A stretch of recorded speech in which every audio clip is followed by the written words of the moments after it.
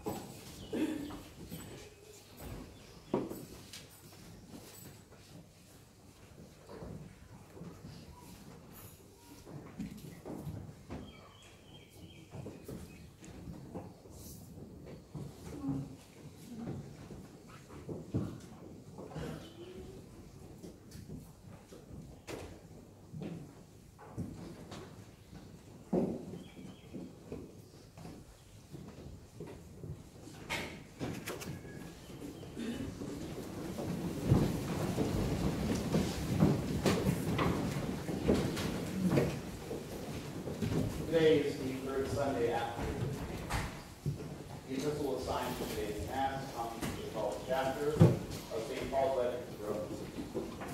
Brethren, never give yourselves airs of wisdom, not to pay injury with injury. Study your behavior in the world's sight as well as God. Keep peace with all men, where it is possible for your part. Do not avenge yourselves, beloved allow retribution its course. So we read in Scripture, Vengeance is mine, I will repay, says the Lord. Rather feed your enemy if he is hungry. Give him drink if he be thirsty. And by doing this, thou shalt heap coals of head, a fire upon his head. Do not be disarmed by malice. Disarm malice with kindness. Gospel assigned to today's Mass comes from the eighth chapter of St. Matthew. At that time, a great multitude followed Jesus when he had come down from the mountain. And now a leper came out and knelt before him and said, Lord, if it is thy will, thou hast the power to make me clean." Jesus held out his hand and touched him and said, It is my will, be thou made clean." Whereupon his leprosy was immediately cleansed. Then Jesus said, Be sure that thou dost not tell any man of it. Rather go and show thyself to the priests, and offer the gift Moses ordained, to make the truth known to them. And as he entered Capernaum, a centurion came to him, asking for his aid. Lord, he said, I have a servant lying sick in my house, cruelly tormented with palsy. And Jesus said, I will come and heal him. But the centurion answered, Lord, I am not worthy to receive thee under my roof. My servant will be healed if thou wilt only speak a word of command. I know too what it is to obey authority. I have soldiers under me, and I say, Go one man, goes, or come another, and comes. Or do this my servant, and he does it. When he heard that, Jesus said to his followers the Believe me, I have not found faith like this, even in Israel. And I tell this to you, that there are many who will come from east and from west, and will take their places in the kingdom of God with Abraham and Isaac and Jacob. While that kingdom's own sons will be cast out into darkness, where there, shall be weeping and gnashing. And then to the centurion Jesus said, Go then, let it be done to thee as thy faith was told. And at that hour was. Thus the words of faith from the schedule for this week is home for three masses each day. The only slight change to that would be on Monday, first day of school, there is a solemn mass at nine o'clock in the morning. So, so advise taking bulletin see all the announcements. I will highlight, if I could, uh, the gala is coming soon up, just uh, a little over a month. And we, of course, need your help in making sure we have the things necessary for it, especially those little prizes, uh, the spinning bee.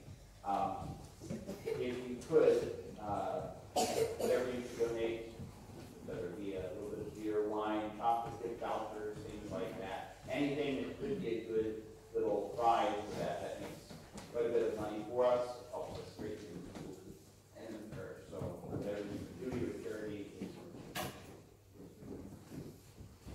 Behold the man. In the name of the Father and the Son and the Holy Ghost. It was within the first hundred years after our Lord's crucifixion that the Roman poet Juvenal bitterly complained about the state of Roman society. People, he said, had taken seriously their civic duties during the Republic, but things had declined there. Now they were enslaved. Now they were turned over to whoever would gain their, their political clout. And that was the two things only, bread and services.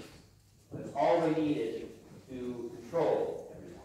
Bread and services, cheap food fill their bellies, and something that occupied their time and keep them happy and entertained. He complains because the people had lost their sense of the common good, of purity, of what it was to be a Roman, fight for this great ideal, this noble ideal that they were trained to learn. But more frightening still is not that this happened, and we see the result of it, the fall of the Roman Empire not too long afterward. Worse is to step back and see that that can very easily be said. Never has there been cheaper, less nutritious, easier to find food. Never did cheaper booze or drink or various other things were more heavily abused, and you see it the of the ease, everything. Never, never before have there been more ways to entertain ourselves. Before you stick the wheel run out and bang around, entertain yourself that way, and now you sit at computer YouTube, video games, Facebook, Snapchat, Instagram, Netflix, all kinds of others. Go out and have all these things at your hand. You can plug in your ears, drown out the world, listen to music. There's televised sport, everything like that. And it's all delivered to me when I want, how I want, where I want, with whom I want. And it's all constantly updated from minute to minute to make it more and more, more and more time consuming, more and more drawing me in. So that you get at it. It all puts the Romans to shame. The great writer Alexander Solzhenitsyn put it quite bluntly. People are more readily enslaved with pornography than with prison houses. The however,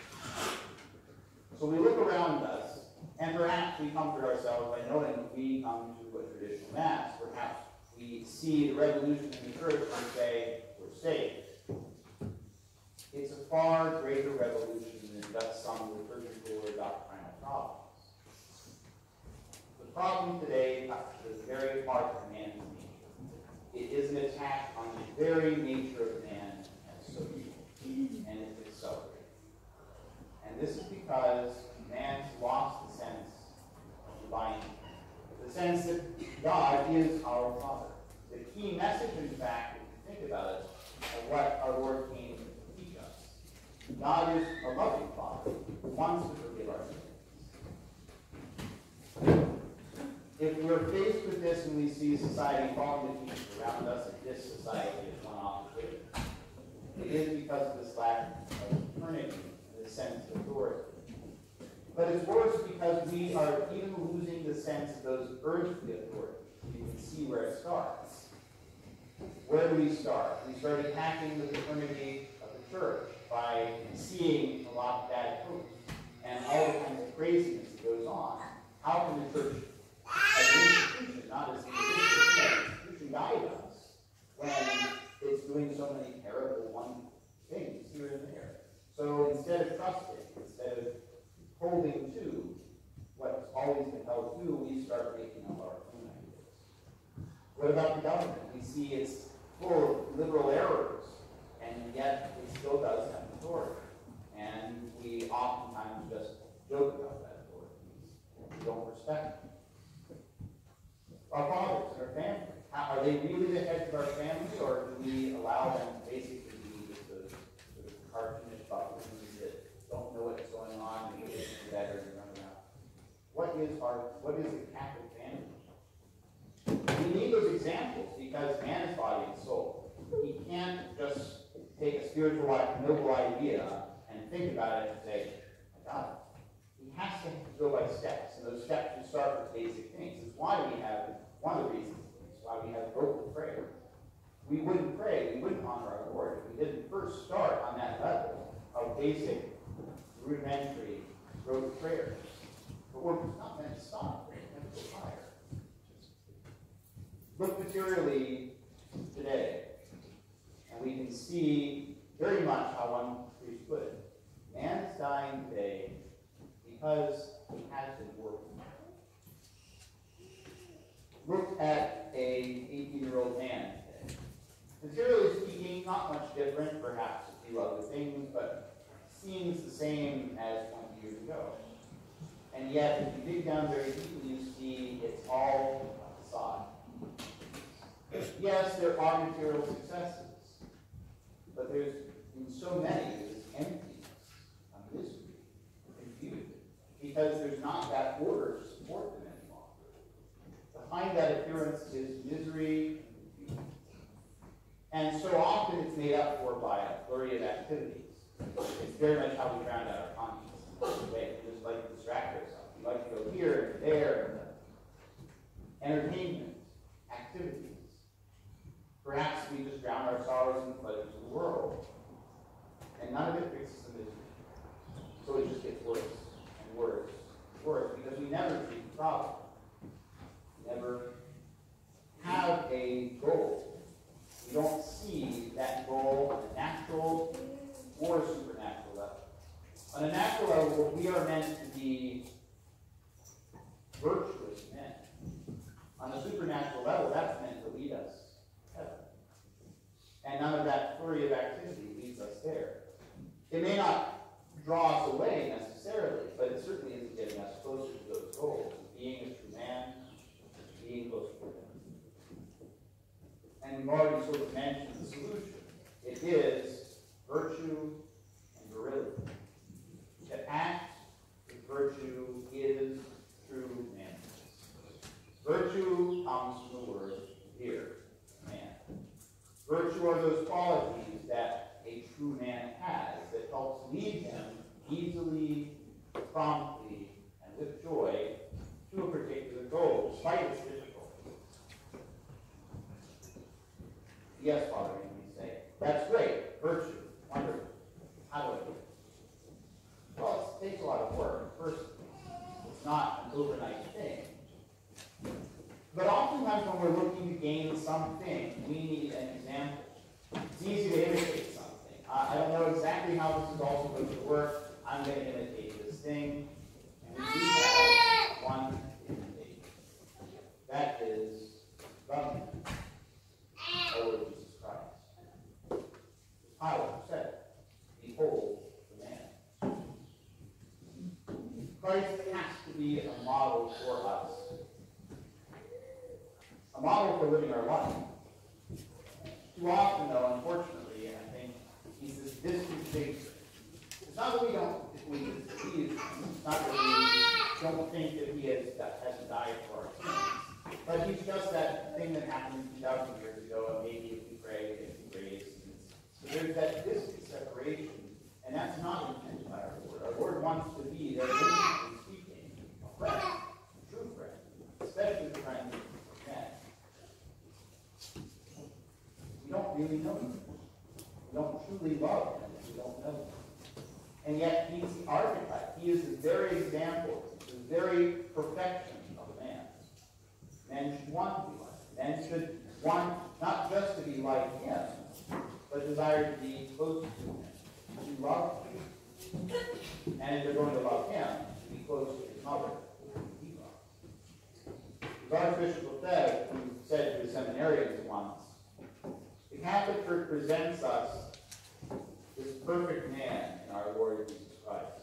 The more that we contemplate him, the more we come near to him, by all the means placed at our disposal, by our Lord himself, the Holy Church, the Holy Sacrifice of the Mass, and especially the Holy Eucharist, the more we should be able to penetrate the mystery that is our Lord Jesus Christ. Our Lord is a kind of puzzle. It is a very virile thing to go searching out to try to figure out what that sound is, where that ear is on, all of those various things. What is down in that dark rabbit? I'm not sure. And in a certain sense, that's why our Lord is a bit of a mystery. He sits there not revealing everything, so we can go and plumb the depths of his life. And in doing that, grow in virtue, grow closer to. Great poem, The Hound of Heaven, It is this idea of our Lord chasing after a soul. In a certain way, he wants us to chase after him as well. This is like a, two dogs running around, one chasing the other, trying to find him, and but he's chasing his. Our Lord wants to draw us. He is real. He is a person. He lives and breathes now. Imitate him is true Catholic man ought to crave those times where he can fall on his knees, and go to our and speak as a friend speaks to another friend. He should crave those moments of drawing close to that very source of his life and the model that he has. Because this isn't just some statue somewhere where we, you know, go work out and kind of start looking like the Madonna's figure there. and We're very proud of. No. This is a living, breathing being, who wants to transform us into himself. He wants us to be transformed into himself by manifesting himself. It's what we thought, we thought about the last couple of weeks in the gospel. We have that manifestation of our Lord at Christmas, in flesh. We have at Epiphany the manifestation of the Gentiles. Baptism, where finally the Trinity itself is revealed and manifested. And then finally, again, we have the wedding Cana, where our Lord manifests his power. A man has to be this. And if he is that, he will save his soul, and he will save the others, and he will do great work restoring society by giving that great example of manliness and eternity to the world. And if he doesn't, it will be a scandal. Either he will simply not draw others to Christ when he has the opportunity to, or he will positively put them away by his lack of virtue, his lack of. And it's good to examine ourselves on those virtues. What Christ practiced, how he acted. It should be our model. Let's consider his authority. We hear about authority in the gospel today, and we see our Lord praise this. Christ wielded his authority for one purpose, the glory of God, and because of the glory of God, the others. That's how we wield our authority we have it. Is the goal is our goal the salvation of the soul? Is it some good for another? Is it a common good, or is it our own personal good? Our desire, pride, benefits for us. Consider his humility. Last two weeks ago, in fact, we, we read the gospel, he was subject to them. Our Lord God goes down and is subject to two human beings. What humility. He submitted to this order that God wanted by obedience to repair for disobedience. Do we? Do we become instead perhaps puffed up? We see a situation, oh, I can do better. If I were in charge, I do better. Father doesn't understand. He's just that old, old, old dinosaur up there in the pulpit. He doesn't understand how things really work. I know the real story. I know what they're thinking. How many times does that run through our head? That's not a virtuous action. It's a prideful action. That's not a manly action. Consider Christ's words. While at this point in time of the liturgy, we're going to go through several Sundays repeating the same thing. Last time we did that at the end the you heard these words in the intro. My thoughts are thoughts of peace and not evil. That's the words Lord gave. You always see him edifying, building up, sanctifying his word. Instead, you rarely see an angry word from him, except to those who dishonor his. Is that disposition? Are we careless about our language? Are we rough with our language? Bombs coming out every third word.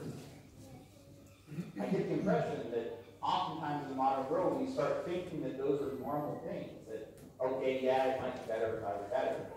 We consider the careful example that we give. Is that what we would say of our Lord? Is that what we would say of the priest? There is temperance. We never see our Lord doing anything to excess except two things. Spending himself for the glory of his Father and spending himself for the salvation of the soul. And yet we do see him eating and drinking, We see him enjoying time with his friends, never in excess.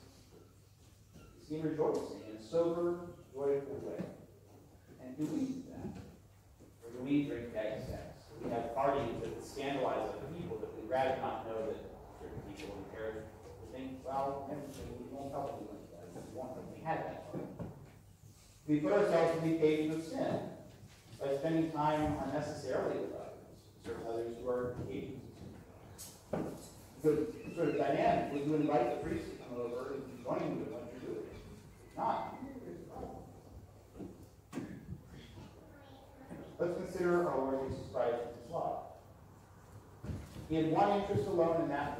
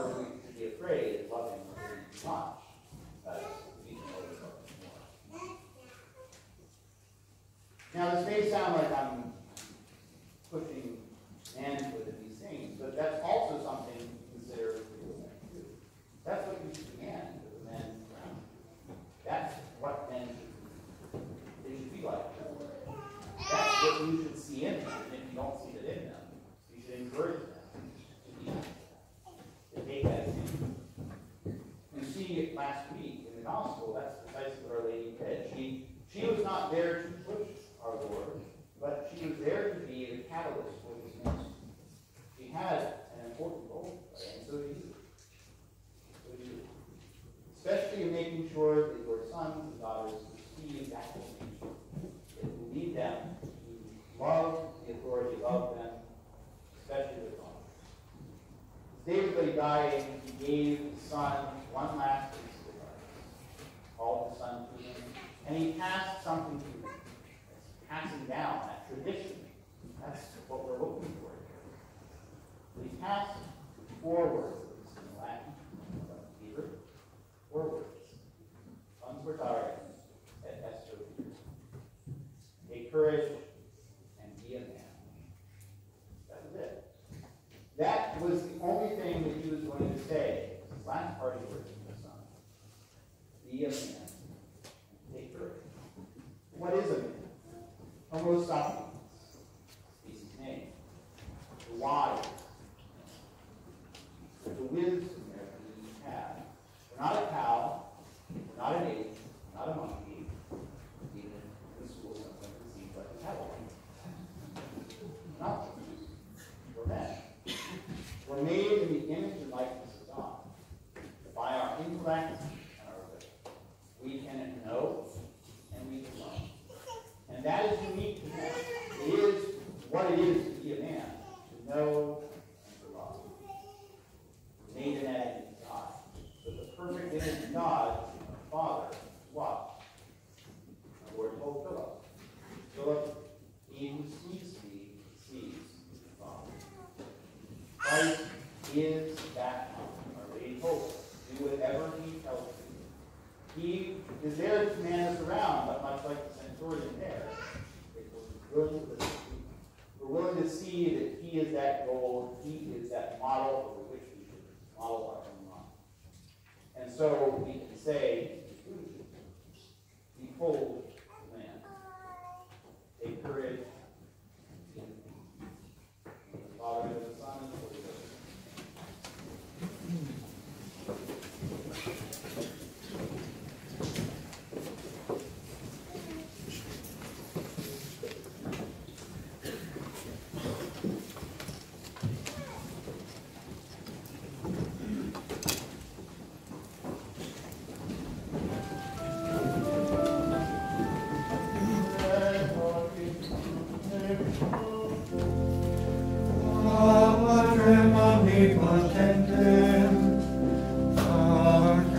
Shri